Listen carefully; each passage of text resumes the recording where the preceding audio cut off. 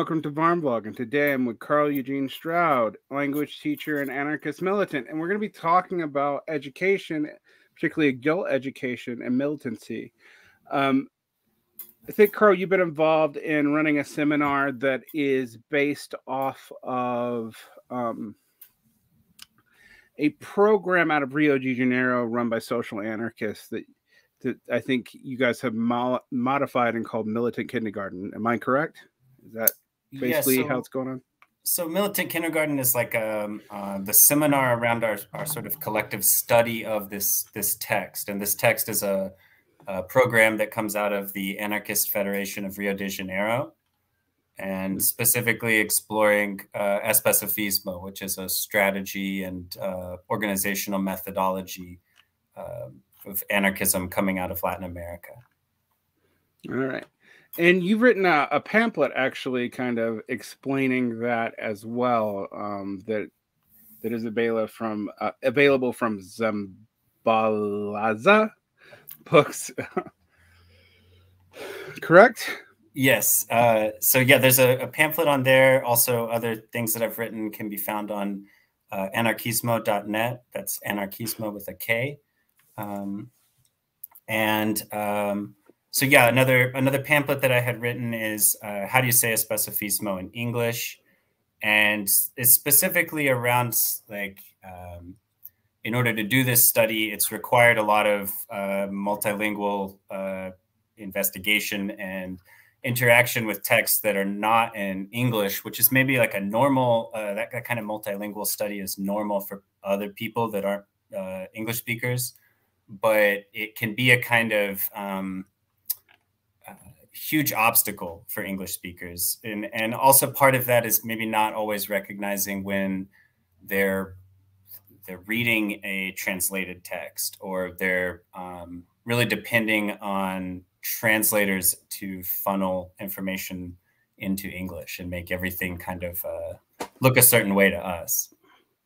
Yeah, this is actually a pretty big point. Um, you work in language education. I, I work in language education way back in my career. I used to work at a, at a university for for interpretation and translation. Um, and this is often true with left text and the hegemonic language or hegemonic language being English, because English speakers, for, for reasons I think that actually we should probably have some patience with because it's not their fault. Uh, don't need to speak multiple languages because everybody already speaks theirs. Um, and it can even sometimes be a barrier to learning other languages because it's often easier for other people to accommodate you than for you than for them to deal with you speaking their language poorly. Um, I think that that also goes for even just having things in more than one language uh, that, that are there in front of your face. That like mm-hmm. uh, a lot of times people who are part of that dominant language culture, they're not used to just multilingual interactions. Even that that things are are typically like kind of uh, you know I don't know if I want to say whitewashed exactly, but they're cleaned and sterilized and filtered through something that makes it very palatable and easy to interact with. And I think yeah, a lot of people. I mean, obviously, if you speak English in some other part of the world, then you are not only speaking English, and so that that's also a relevant part of it. Is that multilingualism is actually like a a facet of of other people's daily lives. Correct. I mean, one thing that we have to always remember with English is English is spoken by more people as a as a secondary or tertiary or however much language than it is by people as a primary language. I mean and there are many cultures that are held together, uh, particularly post-colonial cultures that that use their own forms of English that can seem very strange, but once you know the language that it's interacting with in a multilingual setting, the the English becomes pretty clear. I think of Nigerian English or Korean English, etc. There's just the uh, Chinese English. There's a bunch, um, and You know, I think this is actually really important when dealing with some of these social texts because they are often more specific and not just in like the neologism rays that you're used to from French theory. Uh, but also and like there's a lot of even like common language that's very specific in some of these it doesn't always translate to english well. Well didn't think we were going to be talking about this but it's actually really important and you know in my field which is like marxist studies this is actually a huge deal and you're dealing with a language that isn't even that different from english german but in which like a lot of the received translations or translation patterns are actually quite weird and were set 100 years ago by kind of arbitrary decisions of of like victorian academics. And they, they and sometimes a more literal or direct translation actually makes something make a hell of a lot more sense. Um, i don't speak portuguese but i do speak ish spanish um, and even discourse patterns i think are different. Like you know spanish is a, some of the spanish theoretical texts are much more recursive than say english or german ones um, and by that i mean they might go around the point longer and it's just uh, english because we lose patience uh, i don't know the discourse patterns for portuguese i assume it's somewhat similar but that's a big assumption well, um, so like uh, uh, when it comes to the Portuguese, that's that's not uh, not exactly my my domain. I speak French and uh, Spanish, and uh, so those are the I teach those languages. Sometimes I teach ESL, um, but but yeah, like I think that you you make a really good point there about like the way that theory is kind of interacted with in other languages. At least like yeah, in my experience in French and Spanish, um, the precision on a, a kind of perfect word is not there that and, and what that does is it allows for a kind of um, theoretical discourse that is not so immediately um, ideologically debated about like what is that term? And i don't like that. And i was thinking of this other word so we must be part of different tendencies or um, that that kind of uh, uh, wanting to have the perfect term i think is a is an anglophone practice. And that that same emphasis is not expected in other in other languages to the same degree. And again i think that that actually is very related to multilingualism. Because if we think about people learning a, a second language the idea that the the discourse can be so perfectly precise is not really there anymore that possibility is is really shrink it's, it's shrunken by like needing to um, uh, interact with English speakers from different places in the world, even right? Like we don't all have the same uh, standard vocabulary, and connotation can be really triggering to Anglophones. That's that's something I find. Well, yeah, I mean we're uh, we're a Creole language, um, and connotate we're we are highly connotative, and it's also and I think I always have this uh, as a sympathy for my. For, I also sometimes teach ESL. Um, as a sympathy for my non-English speakers because I'm like, and we're regionally highly connotative. So like standard English is fairly standard, but like connotations are are still even in the age of internet mass media pretty highly localized. So it's it's uh I don't envy people with this. I've always told people English is a is a language. I was always taught as a kid it was a very hard language. I don't think that's true. I think it's a pretty English easy language to learn enough. It's a it's an incredibly difficult language to master, and there's all kinds of class and social and ideological shades in every word choice that we pick.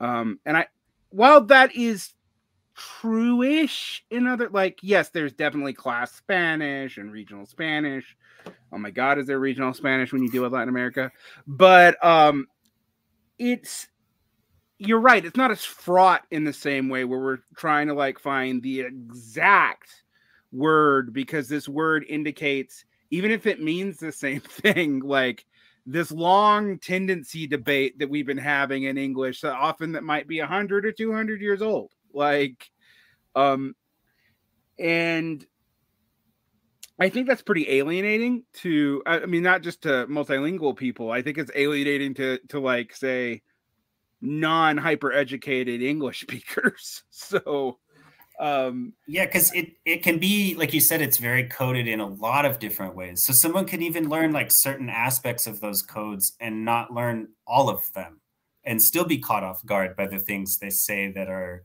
um, you know not not the precise thing. And and again even in an educated context or even in a, a leftist context where people are familiar with with uh, theoretical discourse that can still be something that like someone has assumed they've learned um, really specific things to to speak about something and they have a hard time dealing with people who use a similar term or the same term uh, in a different way I think that that's that's a big part of what uh, you know Marxists have been doing with anarchism for more than hundred years, right? It's just a lot of like like um, once we once we get into certain terms, not accepting where there could be divisions of interpretation or where there could be um, uh, commonalities, and instead kind of um, assuming all the divisions are in the words themselves, like in in in vocabulary specifically. Not that they're not in language but that they're in the specific vocabulary. Well, yeah, I, I think you're not just right to see it between Marxists and anarchists and like the way they approach, say, socialism or communism, but even between Marxist and Marxist and the way that they approach, like the way they talk about strategic orientation or the specific definition they might give to imperialism or labor aristocracy. One of the weirdest things about my job is uh, you know the job that i've given myself actually so it's not it's not like my day job but is going through and just explaining the historical evolutions of these terms and like guys we've used this word in many different ways for a long time and you're actually blanketing over it in a way that makes it where you can't understand even our own theoretical text from like just 60 years ago because we have impugned whole new meanings on those words. Um, and you know, as a person whose mission it is to like get people to understand these these militant socialist texts, uh, not all of them are Marxist, right? Um, I often find that it can come off as highly alienating when I'm like, hey, I know what you mean by class, but let's look at what this person means in this context in this way. And I sometimes wish I didn't have to do that, but you know, there's a long tradition, for example, of Marxists just going, all other definitions of class just aren't real, whatever the fuck that means about an abstract category. Um, and a lot of times I'm like, well, they're coherent, like they're not talking about the same thing we are but I know what they mean. Let's quit pretending that like there's a platonic form of class that was found by Marx and put in capital, and that all other forms are invalid because they don't use the same definitions. We know they don't use the same definitions. We can be grown-ups about it and just point that out. But it's you know, and I'm not saying there aren't Marxist I mean there are anarchist tendencies who do this. I'm sure I'm not as familiar with those milieux. Um but I can tell you that like the our definition is the right definition thing is particular to Marxism, which is also particular to English speakers. And I do find that if you're reading, say, particularly Spanish or Italian um, Marxist texts, they aren't nearly so fussy. Um, so it's it, it's an interesting thing to note you know, in addition to the normal problems of the hegemonic language, you have specific leftist subcultural issues that are blinding. And, you know, I, I like to, one of the things I like to do, and I do it not because I am a big proponent of leftist unity for any sake, I'm actually not, but I do think sometimes it's important for us to I will take uh, different positions held by anarchists, different kinds of Marxist tendencies, and remove the tendency name of who said what, and just point out that, like, some of these tendencies, for example, an anarchist and a Marxist Leninist and a whatever, um, a Bordigist, whatever you pick, uh, um, a syndicalist, anarchist, etc um, might have different groups that are different, more different from each other on political questions than they are from people in other groups that would just automatically call them, you know, some kind of slur the moment they heard the the, the you know the term anarchist or Marxist Leninist or whatever. Um, which is not to say there aren't substantive difference between these positions, but a lot of the substantive differences, frankly, are so historical that I'm not always sure how relevant they are to contemporary struggle. You can disagree with me on that, but it's it's uh you know, I could probably never have another debate about Kronstadt ever again in my life. Like it's not again, not that it's not important to have your to understand it historically, but like we've been doing this for a hundred years. So well, and you know that's that's actually I think um, uh, relates a lot to to especifismo and to kind of um, how this has been able to sort of get us uh, it, out of out of these kinds of like you said like repetitive debates because uh, from our perspective like kind of what ends up happening is that everything is just interpreted as ideological dispute so it's almost impossible to even have a strategic dispute. Because if you mm-hmm. have a different strategy, people just assume, like, oh, you're actually just part of some different school of thought. Okay, my bad. And that we we don't have space for for sort of disagreeing on those things. And that, yeah, like you know, thinking about something like leftist unity, I think that from from a especifismo perspective, like the idea with that is that the left is some kind of a grouping of tendency that makes sense in certain contexts, but that grouping those things together as part of a strategy is inherently ideolo- ideologizing certain kinds of social level work that would need to be done. And that that that kind of placing ideology inside of social movements is something that weakens social movements. It doesn't strengthen them. And so the strategy is all about um, deepening that ideology on the political level, but distinguishing that from social work that happens uh, in popular spaces. Mm. That's an important, important uh, point. I guess one thing I'm going to ask you is, you know, uh, you and I are both, I would say, we're largely militant socialist educators, like to avoid any immediate sectarian difference between us. Um, and on one hand, right now, I think there is a general, and I would say specifically liberal, overestimation of what education can accomplish in and of itself. And on the other hand, there is a militant tendency, I think, to overreact to that and pretend like education either isn't important are the only education that's important is like whatever their weird sectarian unit says. So why do you think these kind of issues are like you know you're starting a program on especifismo and it's particular it's kind of particular but I, you know i looked at the text you sent me much broader actually in a lot of ways view of say uh, social anarchism and socialism in general um, and yet you're also doing it in a context of like bringing in people who may not be familiar to like say the militant left or the radical left milieu. How how do you communicate that particularly when you're dealing with like we've said multilingual text a lot of which are not translated into english? And i i would tell people even in a tradition that's you know as academically documented as marxism there are basic texts that are not translated into English. Like you have to read German or Spanish or Italian or Russian or something to even begin to touch. Yeah, like uh, I think that that you know, thinking about what we were saying before with the vocabulary and the connotation. One thing that happened with us in the beginning of these studies was that um, we we ran into this term in this text constantly of of militancy and militant and that like as english speakers we're immediately like oh military like i don't know that sounds kind of bad or uh, it, it's very hard for us to break out of um, uh, activism and activist and like these term terms like that which are not the wrong terms for a certain kind of thing but also um, what we were able to find as we investigated militancy more was that it really was a concept that was missing from North American uh, socialist struggle, or even just uh, uh, social movements, was that we we really didn't think about militancy.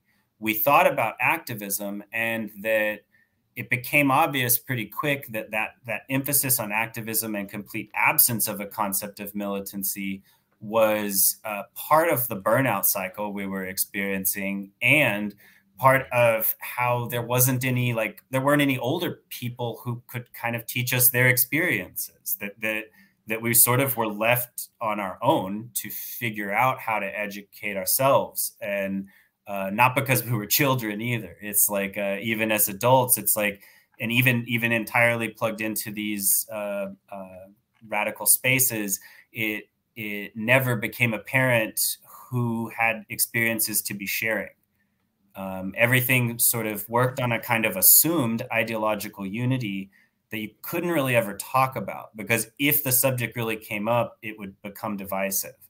And so that assumed uh, ideological unity that works for a kind of activist action, a, a mobilization. But that doesn't work for uh, any sort of consistency of struggle, and definitely not for the theoretical work of connecting instances to each other.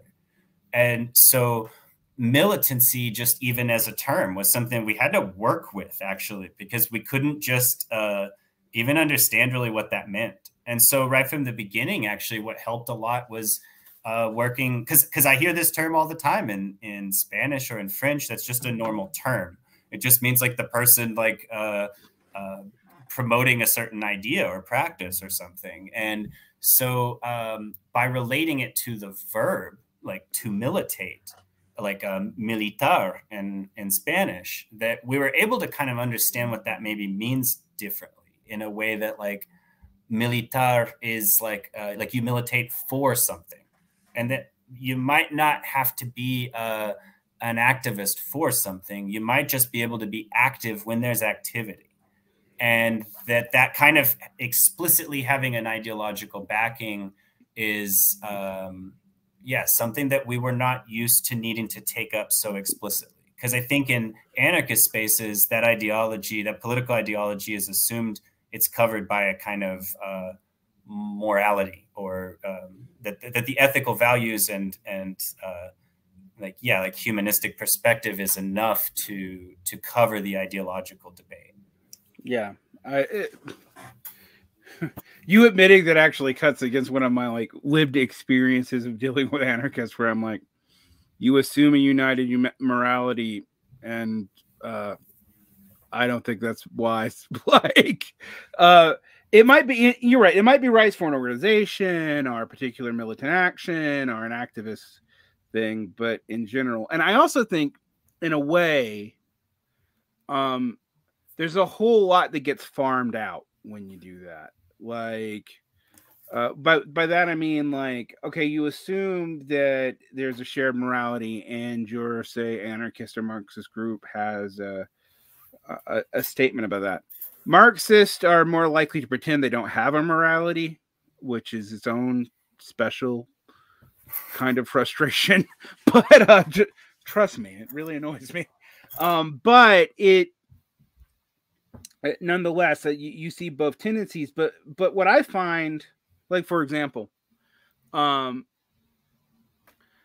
I believe in a lot of things that we would call human rights, but I don't ever use that language because I consider that language to be, I mean, literally Enlightenment liberal bourgeois, like um, related to Christian tradition and natural law that we don't hold anymore etc.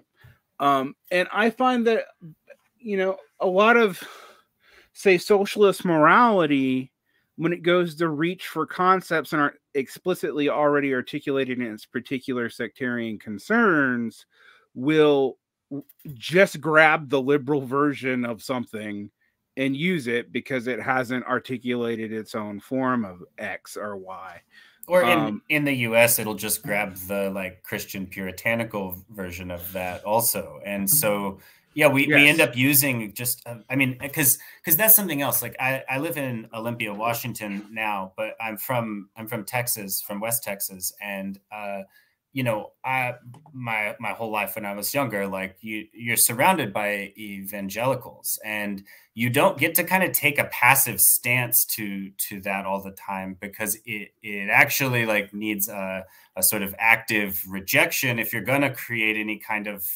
values that aren't just those. And and it, it doesn't even have to be a kind of um, uh, you can't return to things some things that might be common with that, but that like uh, it's so pervasive that you you have to be active toward it. You can't just uh, assume, oh, I'm not a believer and that's enough, or oh, I, I reject those extremist ideas and that's enough.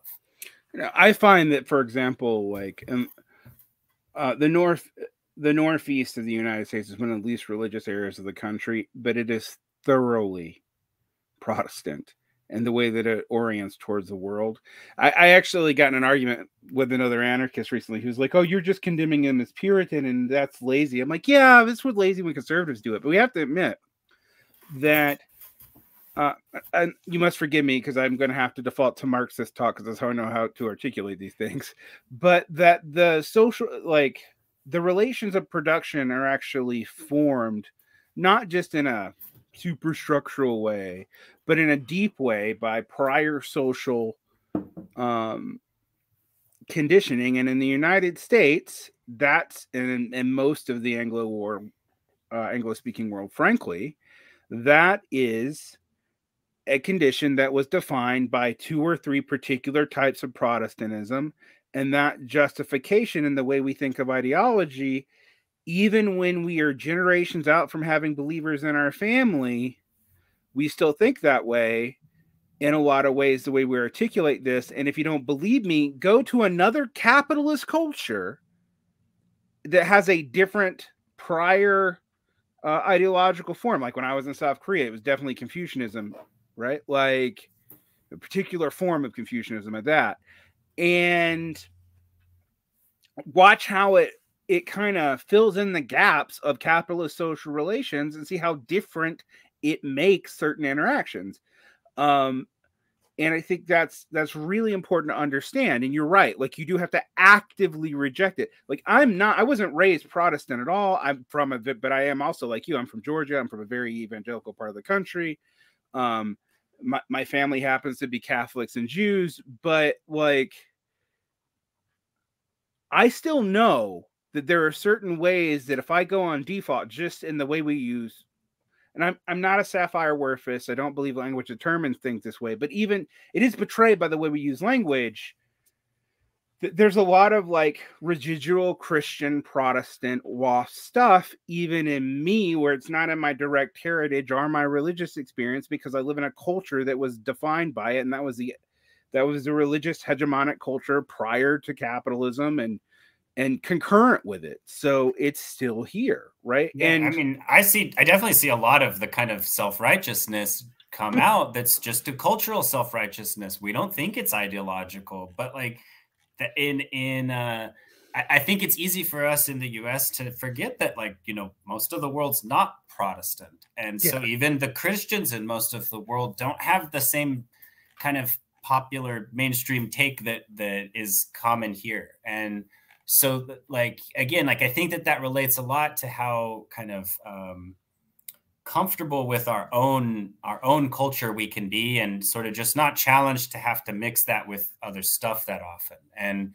yeah in that sense like protestantism definitely fits in in other american like practices that are very uh, that, that reinforce that you know that that kind of bias or that sort of um, discomfort with needing to deal with uh, plurality yeah, I think that's absolutely true, and I think even even the way, say, like we talk about virtue signaling to use something that the right talks too much about, but I think is real. Um, the way we signal virtue is very individualistic in a way that like if you're in say a catholic uh, like a predominantly historically catholic country even if it has a lot of evangelicals in it now uh, you don't see in the same way. like it's just not a thing you see. Um, and I, I, do think this is actually really important when we come to things like um, just approaching like social organization and text and and, and whatnot that in a way that um articulates these cultural differences without like essentializing them either like like oh you know mexicans are catholic so they're this way. Like no that's not really what i'm saying either. There's a whole any culture is going to have like a ton of these things not just the, pre- the dominant religious one but the dominant religious one is super important. And there is a way like for example if you're in mexico you could be a diehard a- atheist but you have to deal with the virgin of guadalupe. Like and i don't like it's not part of, like it's not anywhere in my framework. I don't have to reject, accept it or reject it. I'm gonna take you know tamales on Christmas and Virgin Guadalupe Day. It has no effect on me, but it's different in relation to your own culture. Um, I think this is an important thing about militancy, though. I, I wanted to talk to you about this. There was a turn away from militancy in both um, anarchist and communist rhetoric. Um, between say the 1960s and the 1990s i'm thinking about fredy perlman's militancy the the final stage of alienation which we could argue whether or not that's a marxist or anarchist text is one of those texts that actually kind of comes out of both. Um, and i think that had to do with a very particular this is thrown around too often as an explanation but i think it's true here new left formulation of militancy as kind of out of uh, cadres that were based off of like revolutionary cells in the 1920s, but were totally removed from that decontextually and were highly alienating to people because they also required you to constantly speak in a different way and to talk in a way that that was both highly academic but also on a weird war footing. Um and what I find interesting about going back to like to militate, or you know, look at this term and, and say Spanish and French, those associations, while there is a strong association with the military, it's there, it's in even in those other languages, um, it is it didn't it doesn't look like that. So there's not this whole conception of like the rigid sectarian um frankly weirdo that pretends they're in a terror cell in 1920 while they're on campuses in 1968 or 1975 that led to this rejection right? Like it, it's just that history isn't there in that particular subculture. While there are student left subcultures in latin america and it definitely is in france it it doesn't it doesn't have the same i don't know feel to it. Like um I, I wanted to, to know what you make of that. Like, like it does seem like you're you're almost having to dig back into like a different language's conception of militancy to get it away from an association that it had had in say the U- United States left from like maybe the mid 60s until like when you and I were kids like I I think that that um maybe we're we're needing to like like I don't think we combat so much people's conception of uh, militancy inside of the left. I think it, it is a lot more on on a a level on a linguistic level of of being English speakers and mm-hmm. just the fact that like uh, people are as much as they might be triggered by that term militancy. I think they're also kind of uh, uh partial to the term activist and likewise organizer. And I think that in other countries, the term organizer is kind of alienating in a way that like uh, doesn't seem very relevant, seems especially like bureaucratic, and um, that when we talk about that in Especifismo, when we talk about uh, activism and militancy, the way the way that uh, I mean, again, like to think about the theory that would need to connect these instances that not everyone needs to be a militant and that it is mm-hmm. a lot more important to be uh, uh, like uh, cultivating the quality of the militants who are working for or, or, who are doing the work for an organization and for the people in social movements to recognize that for movements to be successful militancy needs to be a factor in that but that that is even something that's like been important in our study and like you, you said before like we in the militant kindergarten we interact with people who uh, we often term it like radicalizing and radicalized people so that we're we're looking for situations where these people come in contact with each other in learning environments not uh, where where someone's uh, got a kind of fake uh, way of, of sharing what they know with someone else, but where we're, we're both genuinely part of a kind of collective study realized through that collectivity.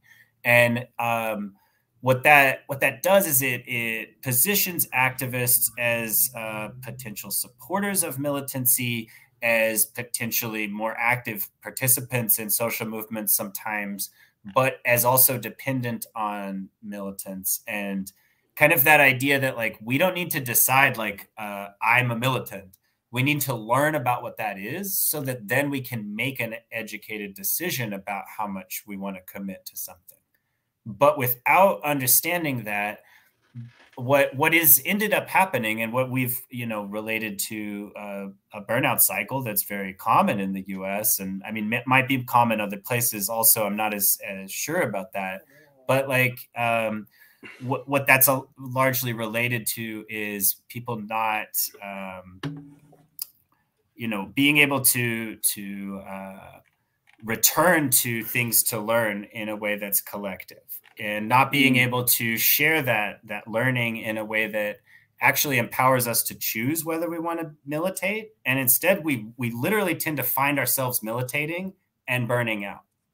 And the only way we sort of discover militancy is because some like you said some cadre uh, cornered off some some young people uh, taught them their way to speak and you almost have to learn about the larger scene through this like really tiny lens and that that kind of um, sectarianism is definitely like a practice that a especifismo is is rejecting. And that that that's yeah like not just being rejected like you know amongst anarchists but definitely amongst marxists as well amongst all all people involved in in social struggle a term we've used in the militant kindergarten to talk about this is also kind of like stationary where people have like a thing they're doing but they get really attached to the station they're at mm. and what we what we lose is the movement that like we don't we don't need to necessarily articulate the critiques of the individual stations but being stuck in stations is not part of revolutionary uh, militancy.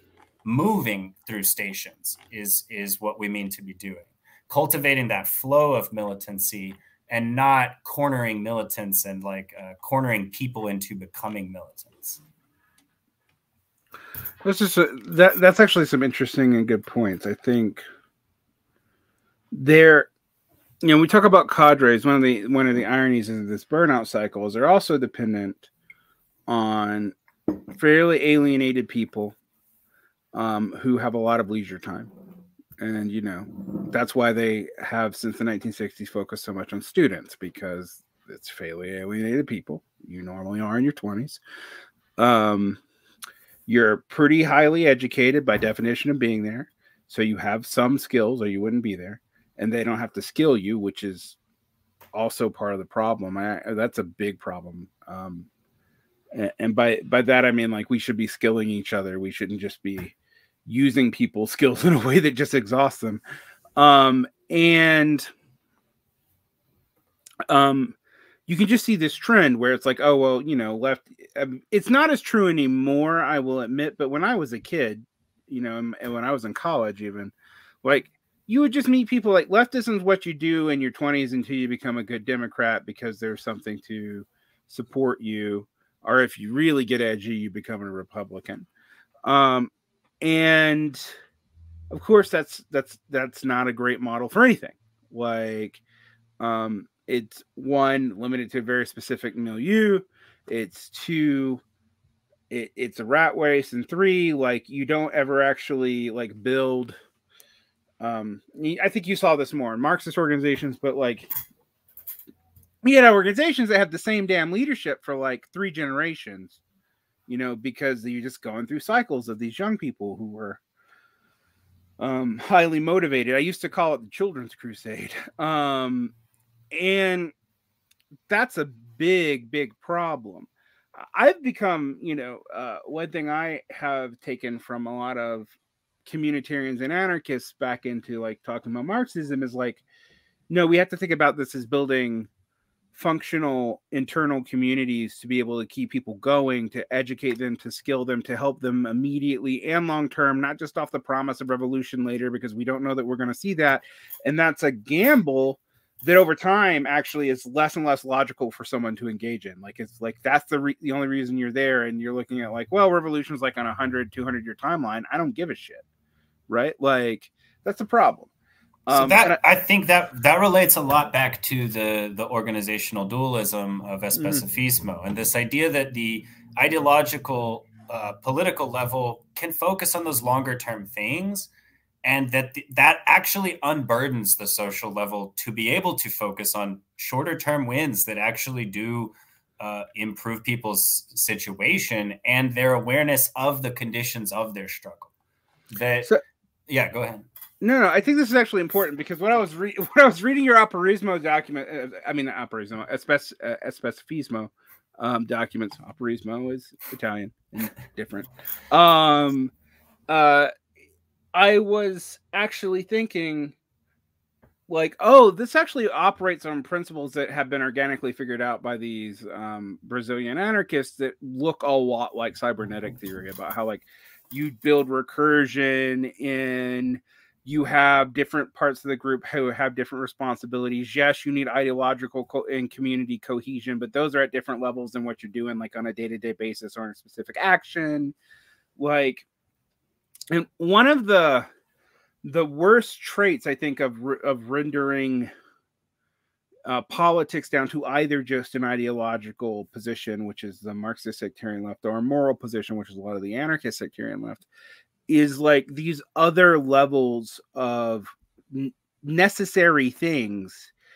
Um, you know, if you want a party, if you want a successful, you know, operations group, if you want any of this, you need a bunch of these things to be kind of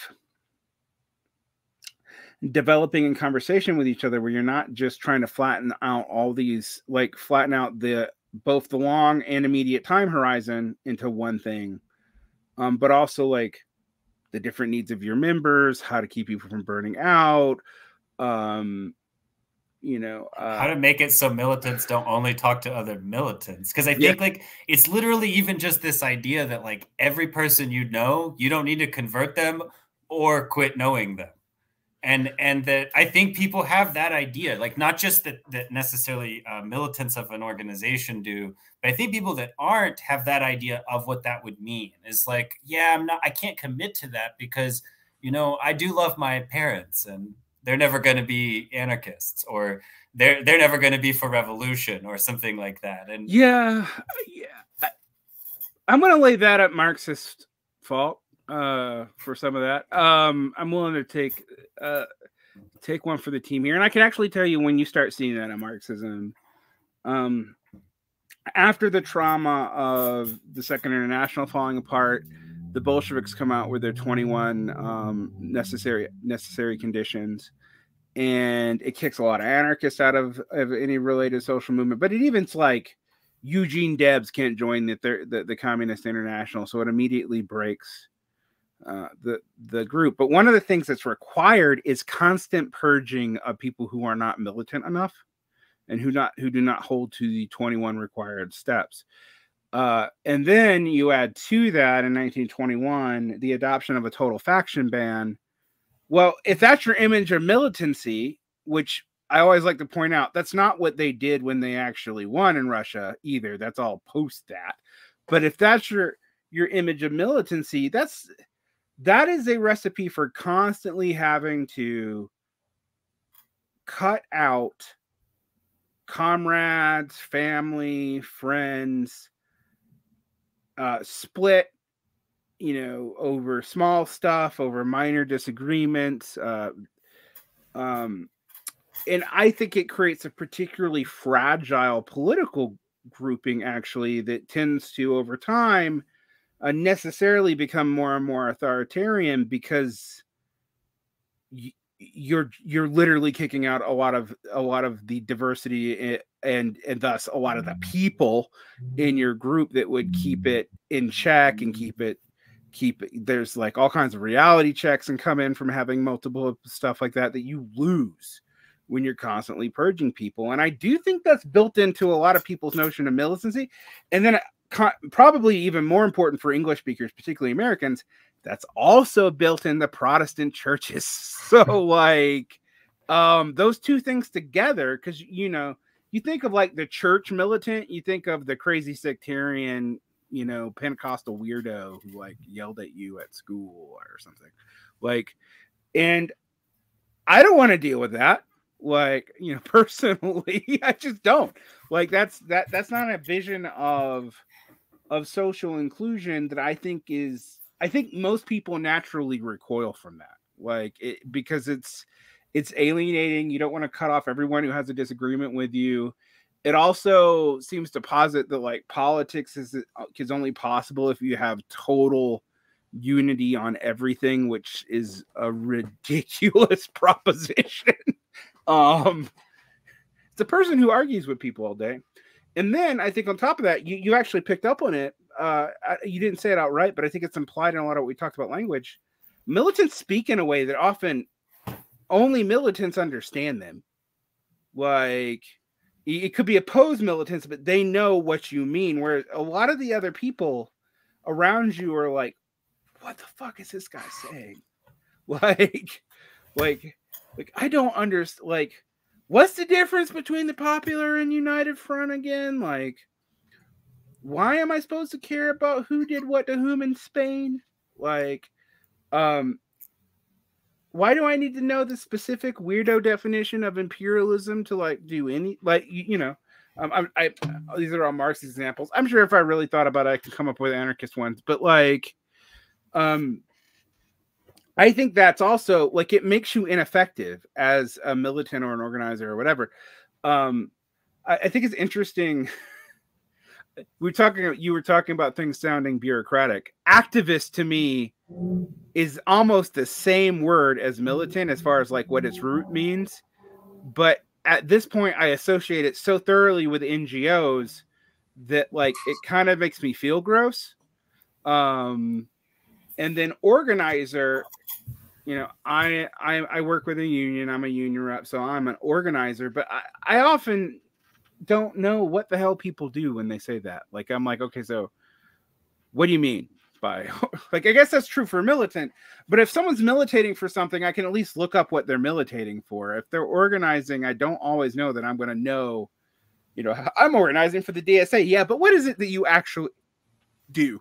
Like well, and you know that's that even you know that that being able to look up what it is and like uh, learn about it that that's a lot of what we're trying to do with with militant kindergarten is that militant kindergarten is not an and the center for especifismo studies is not a, an arm of a political organization mm-hmm. that's important because it does have ideological elements it is an anarchist uh, uh, organization we are studying an anarchist text from an anarchist perspective but we are not uh, the, the, the you know the objectives of the organization is not to form militants for an organization but to help people understand what is especifismo what is a spec what is militancy from that perspective what do especifismo militants do or how do they conceive of things and then people can determine what they what their relationship to especifismo is. They can determine what they how they can interact with other other uh, people who do maybe consider themselves as specifists and uh, people who who don't. That that that kind of um, being able to look it up and know and that it's also not just a kind of personal like opinion a personal opinion about politics that it's actually a collectively formed opinion connected to internationally articulated uh, positions and things like yeah established over time that that um, that kind of transparency is um, i mean yeah it takes it it takes away the possibility of a of a very manipulative political level organization but what it opens the political organization up to doing is staying relevant mm-hmm. by actually communicating with people and that that that's the that's the dialectic we're working with in especifismo is between having these ideals and what's actually the real context. And the theory being that this thing that's able to actually make those ideals present in the real context instead of just uh, at, at a meeting or in a text or yeah some some uh, removed situation. Because i think that that's that's part of it it's not just that sectarianism is um, um, you know problematic on a numbers level. It's problematic on a relevancy level that like there is no way if your organization or your practices are hold up in themselves that they are relevant to what's going on. Like you said you need that feedback from what what's happening in order to uh, have a critical pers- a self-critical perspective if you don't have that that practice then you don't have a thing to be um, trying to um, be relevant to. Mm. That, that rel- even relevance becomes a, a, ideological element, and that that's that's probably worst case scenario, right? Like, yeah. no, we're relevant because we have the best ideas. Yeah, we're relevant because we have the invariant position. We're relevant because we have the correct program, even though our program hasn't worked at what it said it does in like you know hundred years. Or we're but, relevant because we're the oldest thing and we've been around the longest, so we yeah, win. Yeah, we're yeah we're relevant because we have, you know, a direct. This is where Catholic thinking, but like we have a direct line to the apostles of communism. You know, like, uh, you know. Uh, we can all think of organizations that claim such things you know? So like like one thing that that we found right in the beginning so so like you know um we studied this text as a, just a kind of traditional study group like just any leftist study group might be. And mm-hmm. it's it's a it's a pretty long dense uh, theoretical text which is yeah not not easy anyway but it's especially not easy for american english speakers. That's not a common thing we deal with. And so uh, we read it and people kind of you know came in and out of the study group week after week and when we finished we had a lot of other people involved and we just decided like you know a lot of people missed the beginning this was dense let's start over and we literally mm-hmm. just started over and in doing that we you know uh, deepened our understanding of the text but also kind of started to establish uh, what became referred to as as kindergarten is this idea that like um, kindergarten is obviously like a return to basics, right? Like, let's go back to the first lessons. But then it's also this idea that, like, even after you are done with kindergarten, kindergarten didn't disappear, right? You went to first grade or second grade or whatever, but like kindergarten's still like a place in the school. Like, it, it's still a place where new people show up and there's people there and, and materials for them to learn what is going on in kindergarten and I think like uh, that's an important thing not to forget because that's exactly what was what what had always been typical in study circles here before was that we would study something and then before it's even done we're fighting this tendency to be like okay so what are we learning this for? Or like okay so are we going to do what this book says? Or and and it's it's hard kind of like you said to to engage with the theory and the methodology of a text and learn it and just learn it instead of uh, constantly asking this question like okay so are we part of this tendency we just read about now? Because that's what makes people unable to learn about things that i don't know opposing tendencies or uh, uh, read about um, I don't know how how capitalist businesses organize or what are what are their motivations in things, right? Because it's like, well, I'm an anti-capitalist, so if I ever learn about that, what if I became one of them or something, you know? Yeah, there's a there's a fear of contagion that I think I often find hilarious because I'm like, well, you know, some of the things that these businesses do, they do because they work, and some of what they work for we don't want to touch, but some of what they work for we do, like and often I feel like we're we're trying to reinvent the real just because like we don't want to say we took anything from prior organizations or like the way churches are organized or you know i remember the whole the left is not a church debate and i'm like no it isn't there's a whole lot of stuff churches do uh that if we could do them we'd have a much more robust left wing movement. So yeah, I mean it's not a church, but so what? Like, um, and I think that sort of that's important. Um, I often point out to people that like, you know, yes, there's a long comprehended history from cybernetics. That's my interest, and I uh, it overlaps with a specificismo from what I've read from the stuff you sent me.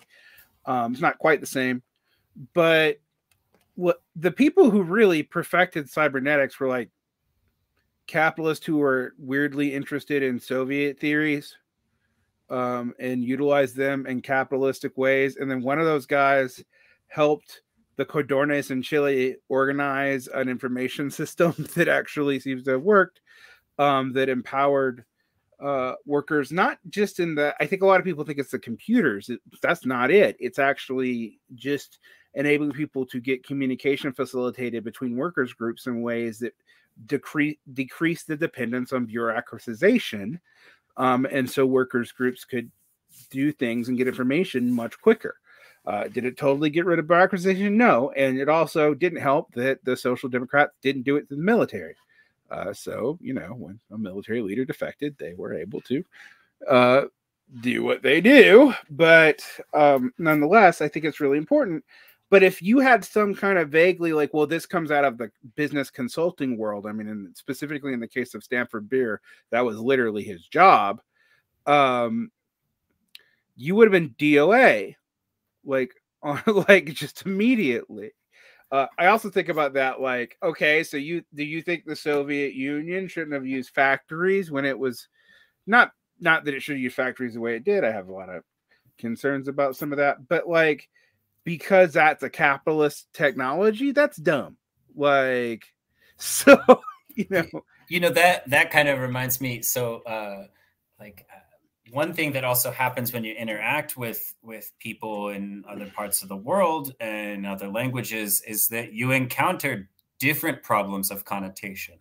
Oh, yeah. So uh, recently, uh, I kind of uh, encountered something interesting because in a like an early video, trying to understand a lot of this, because like that's another thing is like in order to do these studies, one thing that came out of this because these are translations is this uh, producing secondary sources, not as a way of you know not needing to go to the main thing, but as a way of um, um, supplementing that to to produce these sources in English so that um, we're not always dependent on the phrasing from the, the translation or from the initial text, but we're able to actually articulate the same ideas into English uh, in an English text. And um, that in in making those secondary sources, I made some videos that are just kind of like short introduction videos to Especifismo, defining some terms from uh, social anarchism and organization.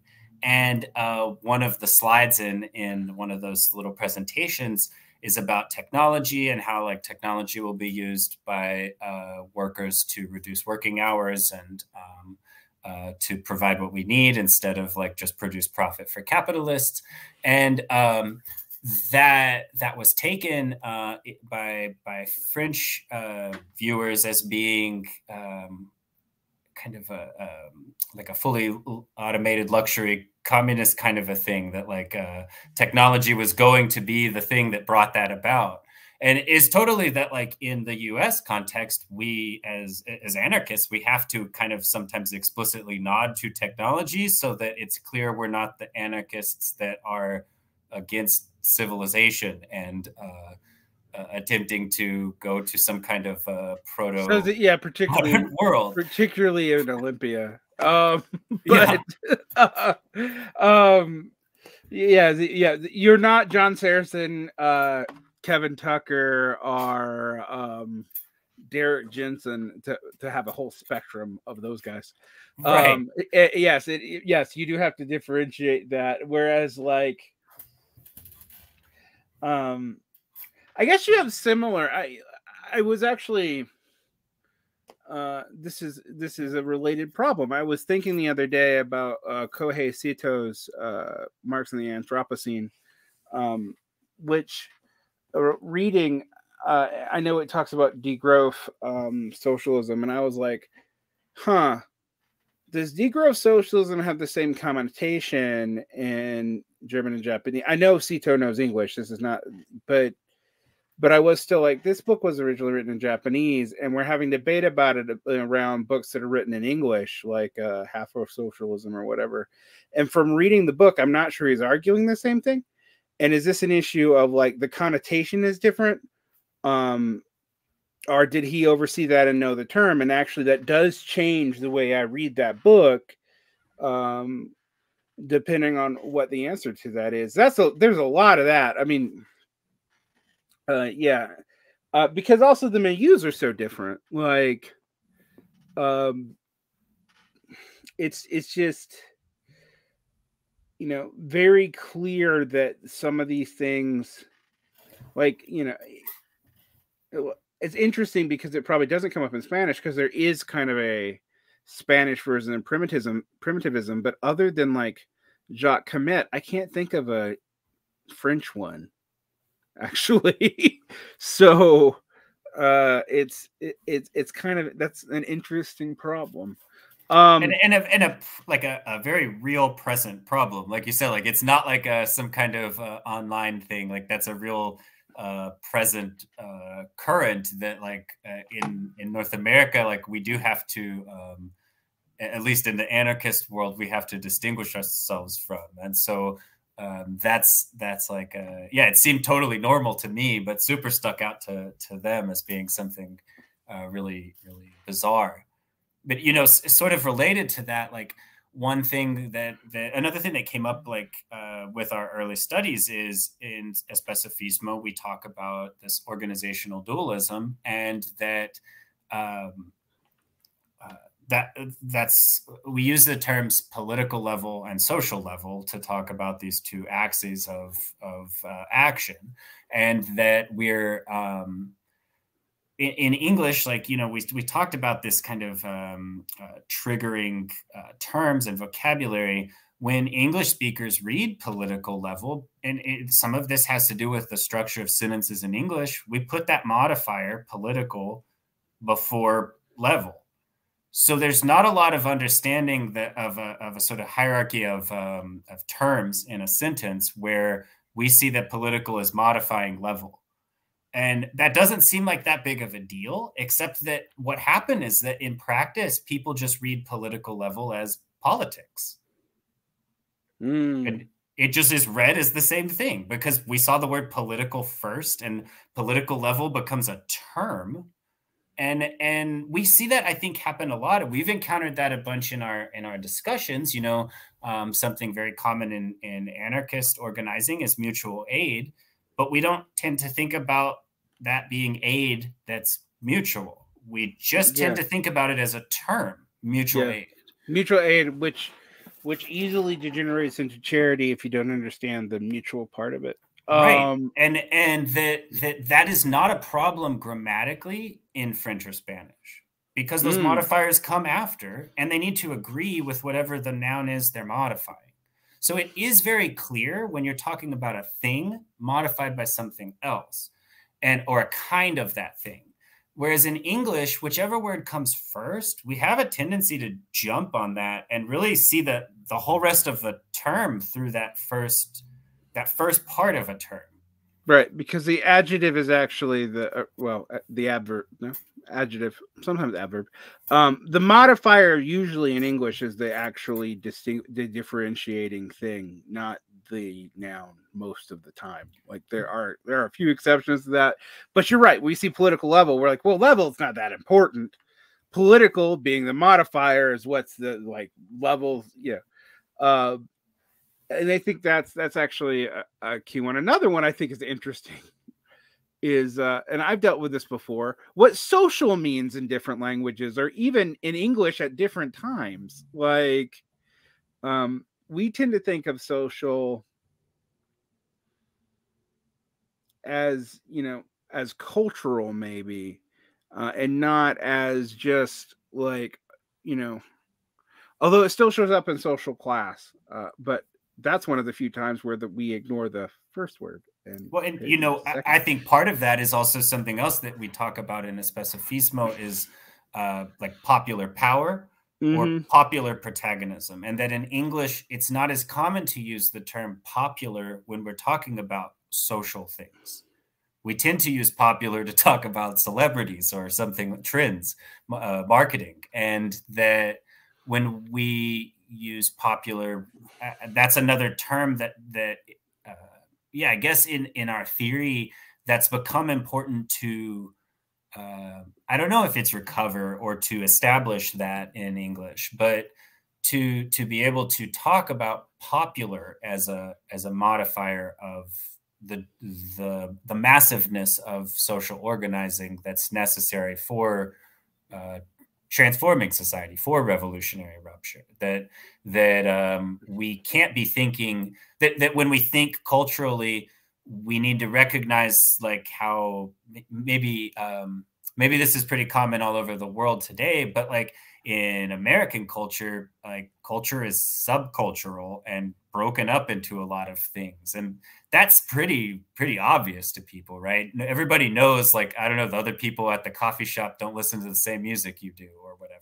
right? Right yeah. It's just a given but we don't recognize that like if we're confusing cultural with social or uh, cultural with popular then we are um, we're thinking of something significantly smaller than we need to be actually conceiving of that's actually a great point i was actually thinking the only time where popular's older meaning really gets saved in in uh, English is populism, and that has a different set of connotations. It might be problematic, but like, like that is where that you know that that's the only place where you really see it. Like, yes, we might say popular uprising, but I, I guess it's it's it's so confused by the you know marketing end of popular. Um, yeah, popular the, uprising is the point where Pepsi decides to make an ad about the uprising, or right? Yeah, it's bad idea. Um, so, so yeah, there, there's a lot of that. Um, some of that can be, some of that can be changed by translations, but like you said, with militant, the the connotations to the to the the two obvious translations that you could use for it in English, activist, which I think literally was a way to rebrand people away from militant because it it at its root means the same thing. Um, like to activate, to militate. Uh, there's a slight difference in connotation in English, but there's a huge difference between the connotation of militant and activist, but not between militate and activate, which I think is, which you know we can over you can overdo like historical epistemology, but it does seem to like tell you something. Um, and then organizer, yeah, I think it's just I don't I don't actually don't think it's correct for what they're doing. Um, in, in so much that organizer still has meaning, it's actually more specific than militant. Like, so, and also interestingly, an organizer. Uh, has the implication of a bureaucratic function even in English because it implies that you are organizing people as if they are objects. Um, whereas a militant does not necessarily imply any relationship of authority over other people in your group. It just means you are militating for that group. And, you know, like, I think that's, you know, the, and these things are subtle and to some degree, maybe they're not super important, but there are times where I think they are. Um, and you know, we talk about the tendency on the left for bureaucratization. I know I do. It's something I really worry about a lot. And uh, I can't help but think that, like, all the language that I see a lot of leftists use is like purely bureaucratic language. Um, and that, that in a way betrays a maybe un- not even intentional orientation that they have developed because of the structures of actually, I would say even more than language, our legal structure. Um, so, you know, these are things that are important to deal with. Um, you know, when I was going through these texts, I, I actually found it very interesting to go back and rethink about these things and think about what it would mean to educate people and to make some of these things strange again. Like that's one thing I will tell you. We talk about multilingual education in the beginning. I think this is another thing that's good uh, when I when I was a when I lived outside of the United States, which I did for seven and a half, eight years, um, one of the things I it, it did is it made my own language weird to me in ways that I had to recognize things about it that I had not before. Uh, and not that I think, you know, I tend to disagree with a somewhat liberal assumption that if you change language, you actually fundamentally change the way people think. But I do think if you look at language, you will learn the way people the the way people think. Um, and so there's a whole lot that becomes kind of clear, even in like power relationships or specificity or all these things the moment you start making these words weird by having to engage with them in a completely foreign context i.e the context of another language. Um it's even that, better if you're dealing with non-native speakers and they make you like make you start asking like why do you say that that way? And you're like i got no fucking clue. Um but yeah go on yeah i think that that uh, uh that that relates a lot to in in english like basically like English speakers, like um, we're.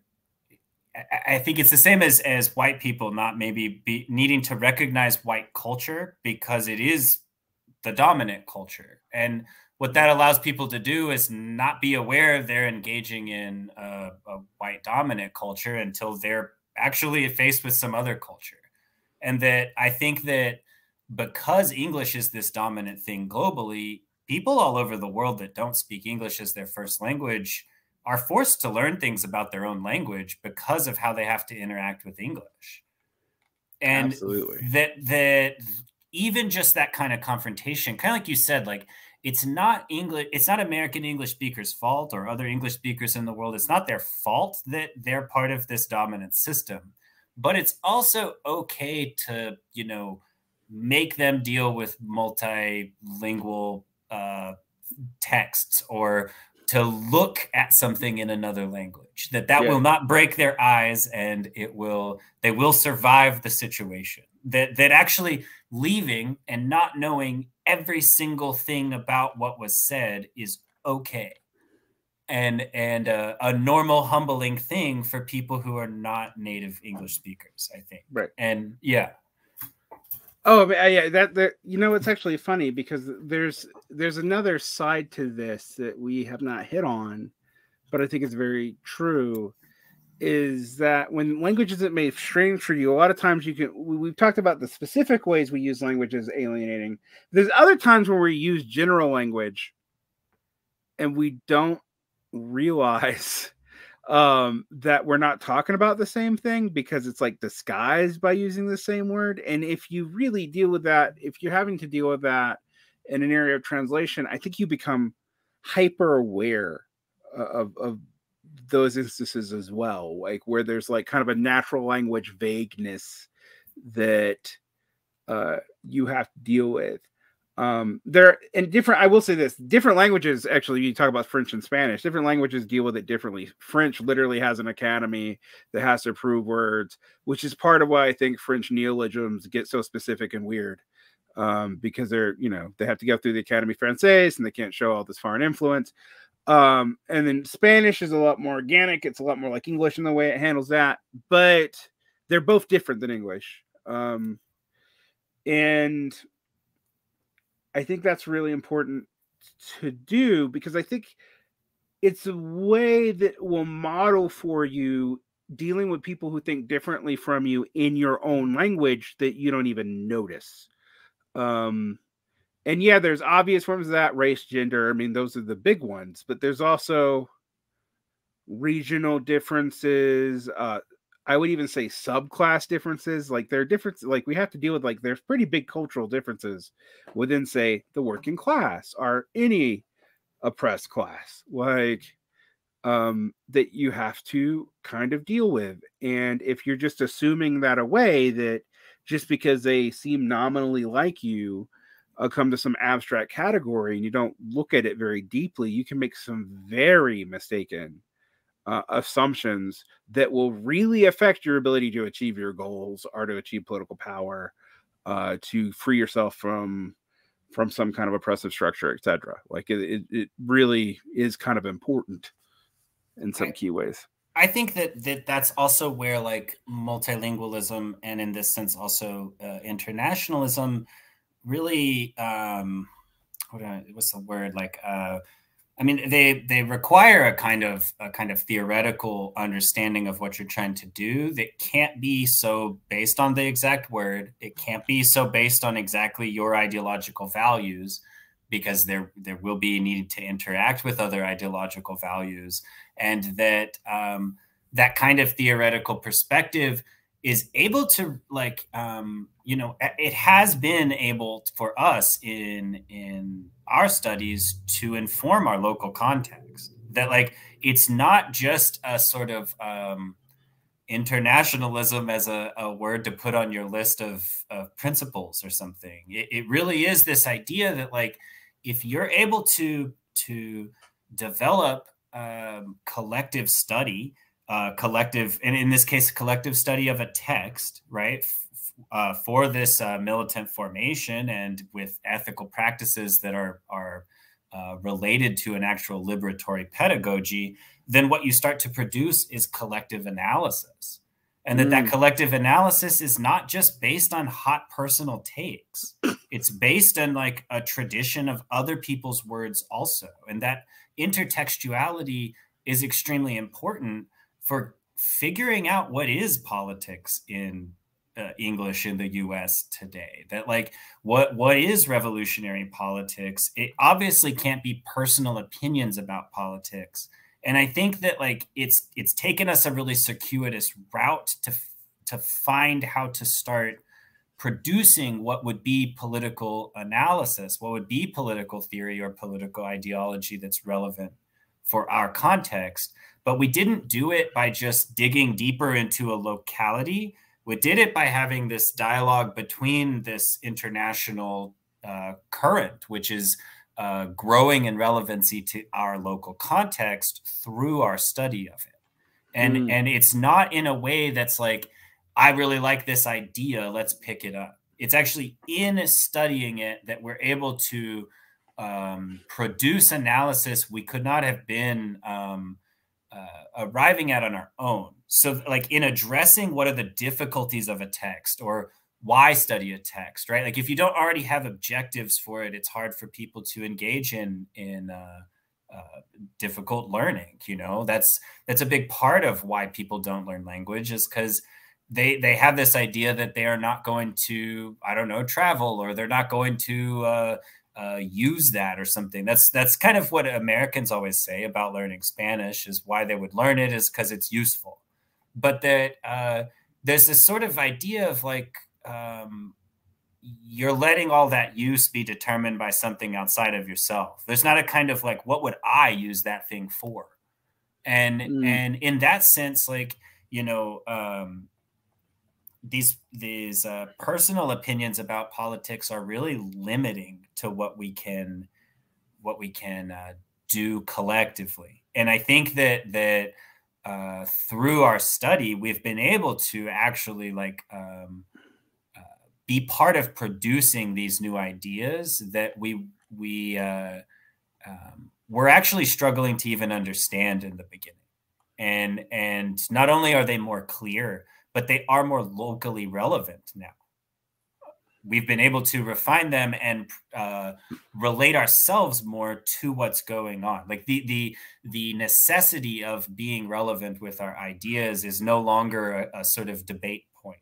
That that seems like a very obvious thing now. And I think in in um, in the U.S., what what we would say is that like a lot of our organizing is stuck in this middle space between social level and political level.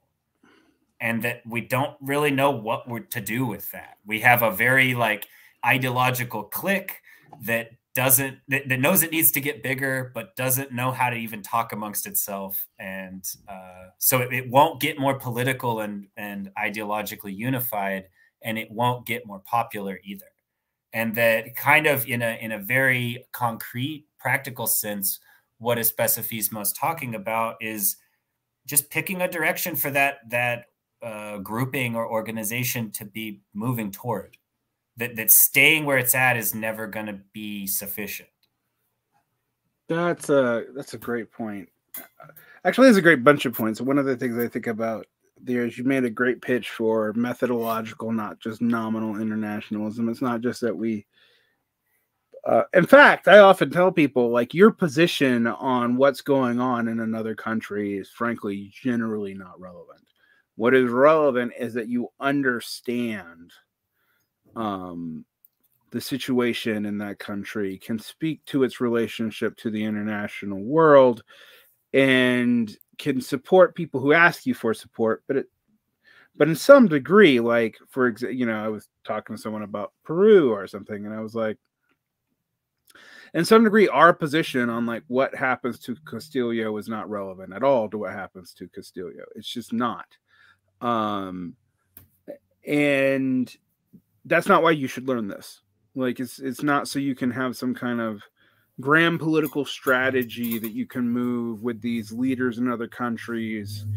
It it's it's more about like one building solidarity, building bridges, but also really understanding the way the world interacts with each other and where these fracture points are and how that affects your own society, um, etc. Uh, and I think that's that's actually a super important takeaway from what you're talking about. Um, another important takeaway is uh, is uh, ideological unity and the discipline that comes from that tends to come from actually doing something together more than comes from like professed belief. That's also super important. I think like like I have a lot more unity with people I work with, even if I don't agree with them on hardly anything. Um, and yes, that does mean in some cases you do have to pick who you work with carefully, but in a lot of times, um, the ideological question is it's just backwards. Like, like, like the the assumption is the ideological unity comes first, and I'm like, I don't mean to tell people like that we should be like Democrats and Republicans, but it sure as fuck isn't true for Democrats and Republicans that ideological unity comes before whatever the, the, the unity around power, the unity around their project. Like, in fact, if trying to even figure out what their ideology is is really fucking hard. Um, and so you know, you know, yes, it is some generic form of liberalism in some broad sense, but that's that's so broad that it's not particularly helpful. So I think those two points are great. Um, and I think they're good points to, to tie this up on. I, what um, if you were to tell people to search out what you guys are doing? Um, where would you tell them to start? Um, you can check out our website, which is especifismostudies.org. And um, yeah, like the the kindergarten. The, I mean, a big part of that is that militant kindergarten is an annual project that we mean to be maintaining. So we do mean to go back to kindergarten because kind of the last meaning of that is that like kindergarten teachers uh, think about kindergarten every year and like not in a way that's old, but in a way they're willing to refresh and like re-engage with. And so we also mean for kindergarten not to be just a, you know, oh, I, I learned it that, that it is there for people to come and learn and, and complete and know and go do whatever with, but that it's also there for people who want to engage and militate for other people to still have that station to go to. So we kind of think about it like um, if if the text, which is dense to read, is like a like a you know a a shelter out in the woods somewhere and it's really far away and there's useful stuff there, but we can't take everybody. People have to take themselves there. We can help whoever's willing to make the effort get there. And we will make sure that we all leave together and come back together. But we have to do part of that work on our own. We can't we can't carry a whole person there.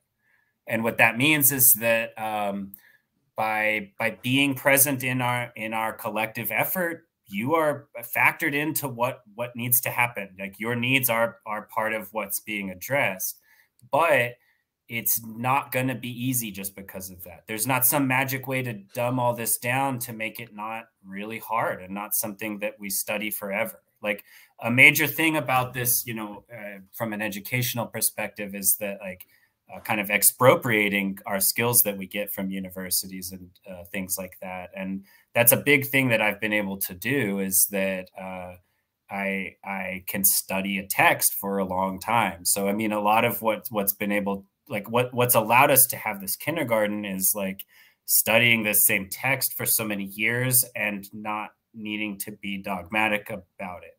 And I think a lot of that has to do with studying it in a context that's pedagogically uh, oriented. It's it's related to education and this idea that like uh, educational militancy is something that as educators we don't question. Right? If you're put in a situation with people learning, uh, your ethical dilemmas are uh, a lot more clear, and and the the amount of effort you'll put into defending that is is pretty high and I think that's something I kind of realized about myself as an educator, but that when we start doing these things collectively, other people realize too, in this way that like uh, it's not a lip service to say, you know, we're all teachers and all students, that like there are ways where we can create environments where that happens. And there's also ways we can create environments where we take turns doing that. And it doesn't have to be um, um, that you needed to know everything before you came into that space. That there there is space for new people to open up uh, perspectives that we couldn't see otherwise, and that is exactly why we want the political level to have contact with the social level. Why we would want radicalized people to have contact with radicalizing people. Yeah, that makes that's actually great. Um, it's also a way to like as a teacher something i think about is reduced dependency on the teacher because if the teacher is part of the of like the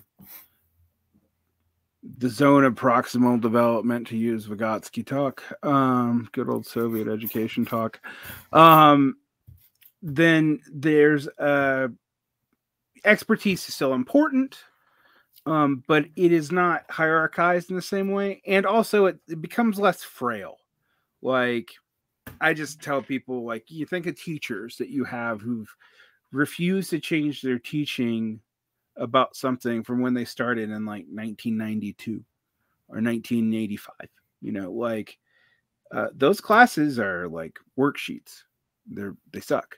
Um, they're not very effective either. Um, unless even if they're a super dynamic lecturer, if they've been giving the same lecture for 35 years, you you know that there's a problem like and and it also i think it's good for both sides like you said in that sense and you know it's funny because people would laugh at this in terms of politics but the moment i actually like think of it like your experience of a classroom it becomes a, a much clearer dynamic of what you need to do um and i really i really think that's uh that's great um I think that there's a you know there's a class line that a teacher is kind of always positioned on, right? Mm-hmm. And in that way, like um, it it really relates to this idea of uh, engaging with people uh, who maybe have different motivations in struggle, and that like uh, just being a teacher doesn't put you on the side of of students. No, absolutely, it does not. But being a teacher, it puts you in the position to figure out how to be on the side of students. Yeah, and it, it's that, a choice you can make. You're on, and like I, I think that you know, there's a very much uh, an idea that like we we need teachers, but that um, it's not because we need like uh, the authorities to be teaching us the thing we need the people who will engage with the line explicitly and who are willing to take on the the ethical implications of of messing that up right? Because because yeah. i think that's not nothing and that's definitely overlooked by by people who don't don't work in education or again like militants who are not militating for education. That's a great actually that is a, a great point to end on and I, I definitely agree with that. I think a lot about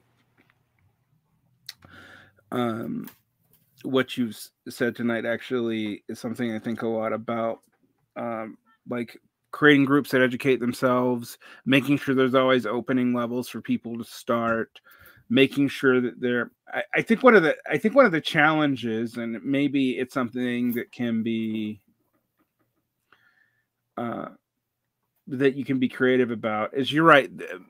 Kindergarten teachers build up expertise in kindergarten teaching. You can't hand them a group of 12th graders and they, and they do it uh, easily. Uh, but I do sometimes wonder. I, I do think a lot about this. Is if a group like this gives you the power to every now and then be like, okay, now you got to go through a 304 course and take a year away from this and then come back with more expertise and stuff like that. Because the other thing that group education like this does is it deprioritizes having one person as a staid uh, official in that spot, literal spot to, to do the job.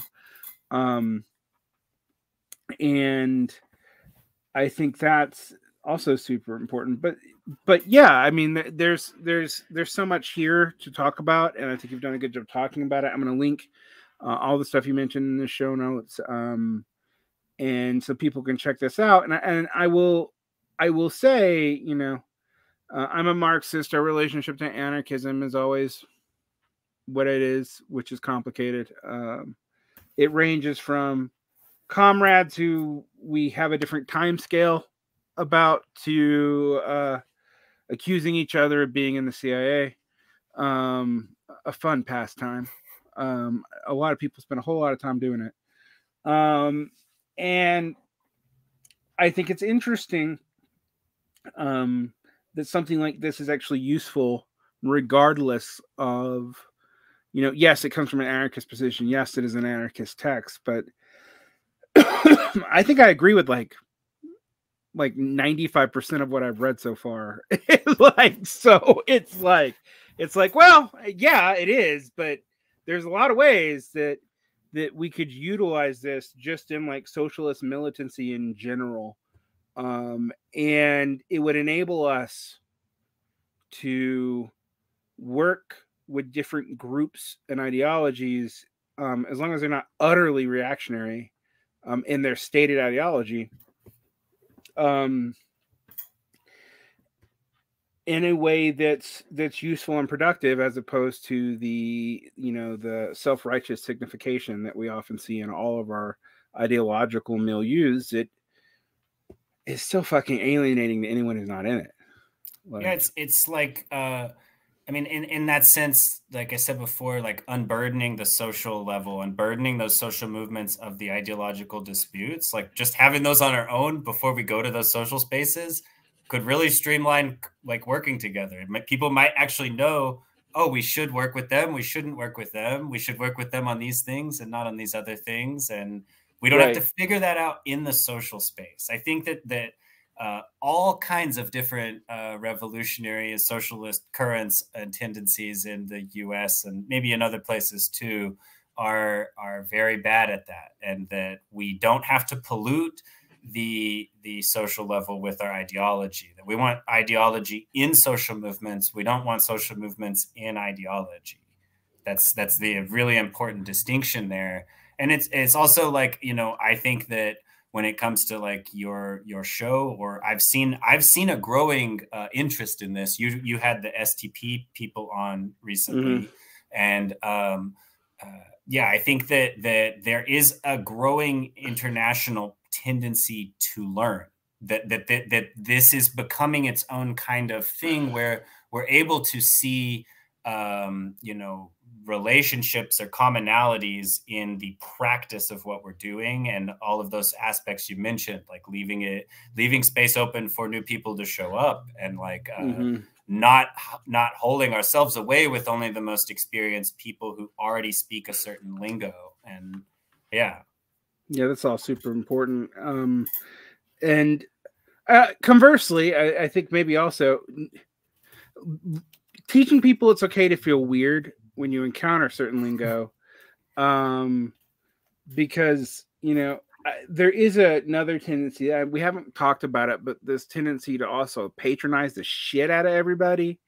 Um, but like, I'm going to talk to them like a worker who I assume is illiterate or I'm um, always gonna dumb down like this really hard text because it's hard to to read, and it's like no, people could also learn how to read hard stuff, and yes. maybe maybe we do it slowly. Maybe we maybe we learn new methods because we're doing it so slowly, and That's... and being afraid of that is such a problem that yeah like goes back to like you said that methodological emphasis on on internationalism and and maybe even into like the methodological interest in collective study instead of just uh, learn the content and take it out and go, go back to activism. It's like maybe we need to actually work on on how we're doing that.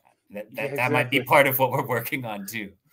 Absolutely. And in fact uh I would say methodological study right now is the only way you're going to avoid general illiteracy. so, like, uh, and by that I mean like, um, our entire society right now is geared towards, and I'm going to almost sound like Jonathan Haidt or some conservative or something, but I think it's true, geared towards commodified interaction of very brief seconds that are meant to tie you in to sell you stuff, and uh, the best way to get through that isn't I'm a superhuman with super discipline and I can undo the executive function problems of that everybody else has through my sheer will because good fucking luck, guy. Like, um, I always talk about this in terms of generational problems, but I'm also like, yeah, but even like baby boomers, the moment you gave them a computer, they got stupid.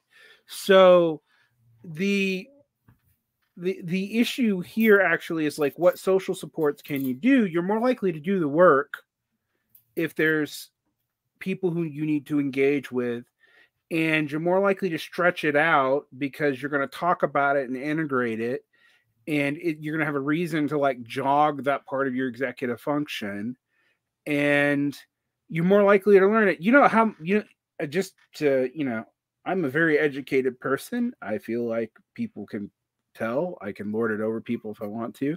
But do you know how much stuff I have to teach myself to be able to do this? It's actually I do it partly for me because otherwise my my my uh my reason to learn and process and like make it articulatable just isn't always there. Like it's like, oh, if I'm just doing this for me, like who cares? Like I, I can I think it can sometimes be it can sometimes seem a little uh dishonest when I say it, but at the kindergarten sessions, sometimes I feel like I learn the most and it's a little unfair to new people because it's like like I'm able to use so much of their questions to learn so much that like uh, uh yeah, it sometimes seems a little a little uh, imbalanced because like uh, by by interacting with new people, uh, my perspective is so like freshened up and like uh, renovated that. Um, and and because I I've done that, I've been reading this text for for years already. I have like very specific problems that I get really stuck in and can't kind of get out. And that fresh perspective is so helpful to me that sometimes yeah like it, it can seem almost one-sided because like all of their investigating new curiosities just totally opens up new paths for me to understand larger aspects of the text. And yeah it's like i said like it can sometimes maybe seem not not uh, uh not true but it's definitely like the way i feel sometimes is like uh, i get so much out of interacting with everybody. Yeah I think you know, same with with this discussion right now is that like um we have to remember conversation is improvised and like yes. this isn't scripted. We're we're making this up and that means we're going places we weren't ready for. And that's that's actually like a super important part of thinking is not just having the ironed out polished part of thinking, but the shooting off the hip, you know, like not knowing where we're going. Yeah, I, you know, it's funny. I was actually thinking about this the other day. I, I don't write a lot of articles. I, am working on a book, but I, I, generally, I I do. You know, I don't love Derrida, and for those of you who don't get why I said that, I, I think one thing that Derrida did point out though is this over reliance on textuality for seriousness of learning, uh, because conversations seem pretty ephemeral. Um, but the dialogue's super important. I do not like I can have a dialogue with a book, but that dialogue is not gonna generally speaking, unless the author's still alive and can literally hear what I'm saying, um, is is not gonna lead me in any like two-way street about how to develop my concepts, how to change my approach to people, how to um and so I've been a big proponent of both thinking out loud and getting stuff wrong and admitting it, super important, and also uh, and taking the responsibility for that. But also like going through these conversations and sometimes finding people that you share like 60% of a worldview with because I don't think performative debating is all that useful. But the the 40% of contestation is where a whole lot of stuff can come out uh, that you're not that you might not have even known that you know or maybe have had to like like integrate on the fly and then it sticks with you because it becomes some you've scaffolded it to, to use education speak for a second. You've scaffolded onto some other concept or experience that's meaningful and now you have this in your toolkit to scaffold more stuff on. The dialogue is super important for that. And as a teacher you know it's my day job. Uh it's i do feel that way. Like like for example there are books that i teach that i thought i hated um that Eh, you know there are a few I still hate. That there's going to be no amount of how many times I teach them that they they don't bug me, but like that I've grown with because I've taught them because I've gotten so many different perspectives over the, of them over the course of 10 15 years. And when when people used to say oh well i learn as much as my students do. I used to tell them they were full of shit. And now i'm like no they you probably do actually and if you don't maybe you're not paying attention. Uh, it's not that you don't have the responsibility and authority to like be accountable for knowing stuff but like you can't do it on your own and knowledge isn't something you just implant in someone's head um, and they just use it like you can download it. And uh, and when it comes to like social activist knowledge that's even more true because even if what you're what you learned is like perfect for a milieu that you were in when you were 25 uh material conditions constantly change. So like like you it's know, just that, you know not you can stand it forever that's an important part of like our contemporary lives too is that like we don't not, not only does like that change as we age but like we don't live in the same places our whole lives no. And it becomes a really complicated thing to interact like in in social movements if you're really dependent on a like strict understanding of how how that works or how, what your place is in that. Uh, because as you physically just change towns, that's not going to work anymore. That's not going to be relevant. And so I think that that's also something that we mean for the Center for Especifismo Studies to function as over time is that uh, we we do also have like uh, sessions sometimes like uh, in our locale where where a lot of us are based in in Washington, and you know maybe as we go forward that might be something that happens in other places too. But most of our meetings are online specifically because um, the the likelihood of getting a concentration of people together in a locale that are going to do this collective study is a lot lower and kind of like you were saying before the idea that oh we need to get the ideological unity first and then we can do everything that's gonna not happen if we also need to learn.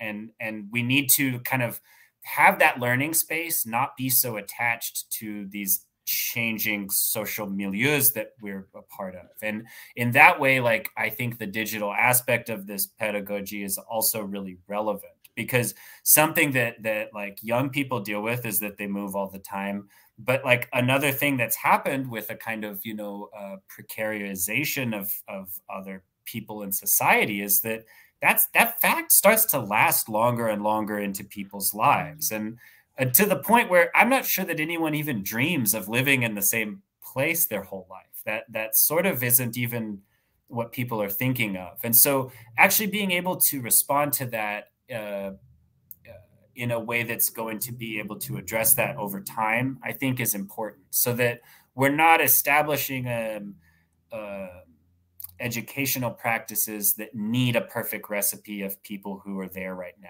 Because I think mm. that's another thing that, that affects student organizing, right? Which is usually where like learning is considered something that's like a high priority. But but student organizing cycles through people and um, you know, necessarily too. Like there, there would right. be a better way to do it where you're going to have people in the same area for like 10 or 20 years because most people move away to go to college. So, but that but that that very much relates to adult education and this mm-hmm. idea that like and and again like to multilingualism is that like you don't need to wait until you move to Mexico to start learning and interacting with Spanish. You can do oh, that on a yeah. daily basis right now already and everything you know is also available on Spanish on the internet. The internet's just that much bigger in the topics you're already interested in and then all the stuff that you've never learned that you've been meaning to is also there in Spanish, and you could do that. And this idea that like we need to um, physically go be places, I think is is um, uh, not totally wrong, but it's also uh, becomes an excuse. And yeah. if we use our learnings, if we use online for learning, I think that that's a uh, you know, a really important way to get us one off the internet at some point, but also two, like uh, to not just think the internet's a place for personal opinions and hot takes, that it is a place for collective work and and actual political organizing. That's not like, uh, no, this isn't the political organizing, like you said. This isn't a kind of educationalism where if we just teach people the stuff, then that's going to fix the problems. But this is an aspect of that larger dilemma.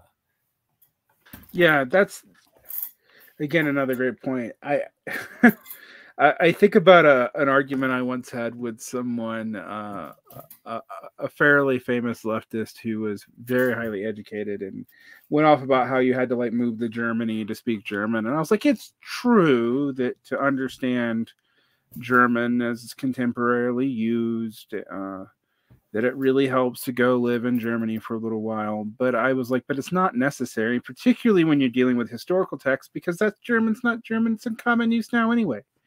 Um, and I really pissed him off for some reason.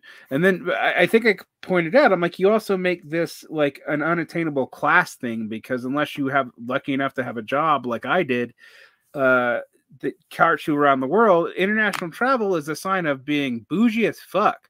So like um but you know, particularly with Spanish, like I live in a, in a in a, neighborhood where you're mo- you're just as likely to hear Spanish as English, and not like I try to make myself use it because uh, um, otherwise I'll lose it.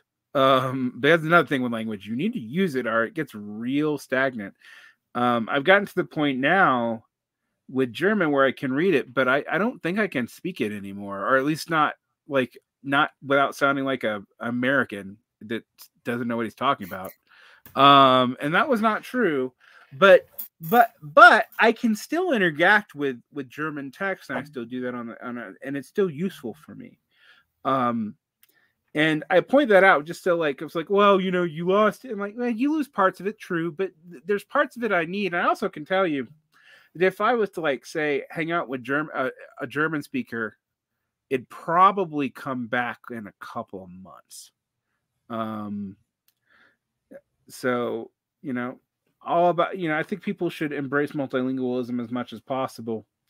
Um, I always feel real, you know, I live in Utah where there's a lot of multilingual people because of the Mormon thing, but um, I always feel real strange when I'm like, when I'm like Americans are so impressed because I like have a cursory elementary understanding of like four languages, and then I'm like, yeah, but like everyone I knew in Asia like spoke like six, like you know, um, and, and they all had to speak English because good God, if you didn't speak whatever the local language is, you better speak English. Like, you know, it's just, it, it's just you know what we find impressive because it's an act of will it's like de rigueur for even working class people in other parts of the world so right. and and that's why like it's not that that's another point that's good to make about why it's not okay to make it about travel and about some kind of class thing is that like working class people learn english all over the world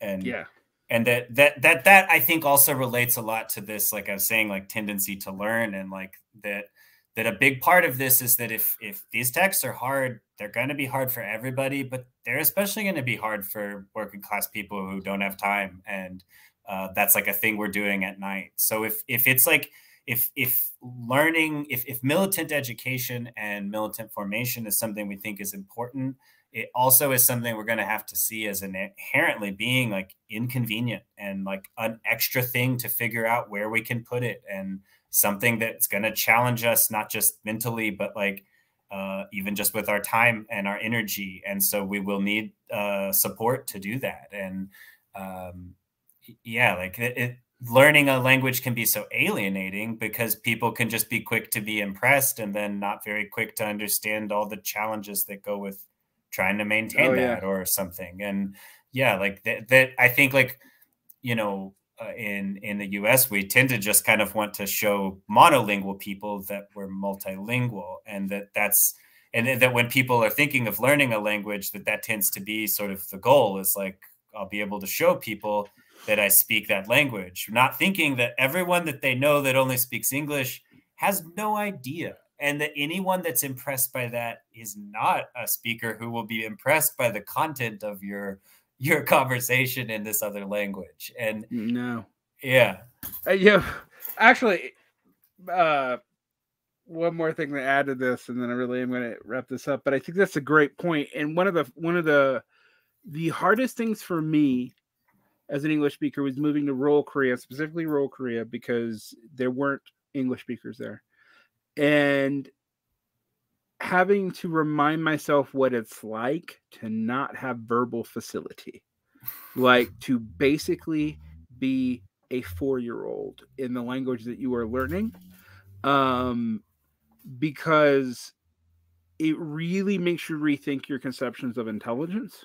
Um, and how you express that and how you show it and the way people express it to you um and i think that's super important for like not treating people who aren't necessarily educatedly articulate like they're stupid um and it really helps if you've gone through it um and especially recently yeah, yeah the, exactly. the, more the more recent that is the the more exercised your humility is because it's right. like oh if you did that this morning probably you're not that full of yourself this afternoon, right? No, yeah, when you're like, I couldn't figure out how to ask for for an apple. Um or I figured out a swear word by accident. Um and yeah, maybe really, maybe my intelligence is more relative than I thought. exactly. exactly. Um so yeah, it's it's very important to do. So thank you for for coming on. I think these are issues that are both important and yet woefully under discussed anywhere and and like left milieus in English. And so I really appreciate it. And like I said earlier, I'm gonna put all that in the show notes. Have a good have a good day, Carl. Thank you for coming on. Thanks.